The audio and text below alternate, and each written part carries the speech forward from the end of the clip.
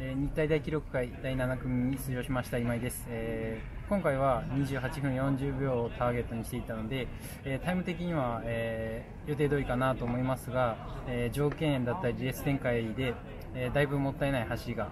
あったかなと自分では思っています、ただ、え1ヶ月前の状態と、え走りに比べてしっかり修正はかけれているのでこのまましっかり、えニューイヤーに向けて、え臨みたいと思います、えまたよろしくお願いします。